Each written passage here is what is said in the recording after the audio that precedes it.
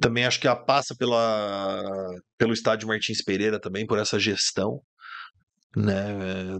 Eu não sei se transformar numa arena, qual a capacidade de, que nós vamos ter para isso, de investimento, de parceria, né? Se, se a gente vier a pegar, né? Que a gente sabe que é um edital, né?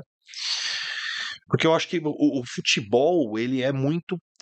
É, é um entre, entretenimento. Eu acho que essa é a visão que nós. Esse é o.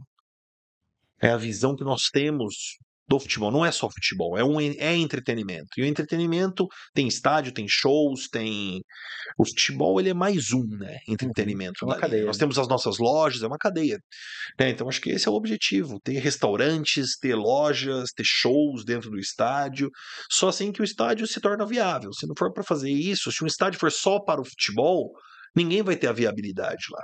Uhum. Entendeu? Não é só o grupo Oscar ou qualquer outro que for assumir, não, não fecha a conta. Isso que eu te É falar, caro. é, é, pra você. Vai jogar quantas vezes? Uma vez na semana? Duas? Na, na, na dois vai jogar de três a quatro? Uhum. Entendeu? Não fecha a conta.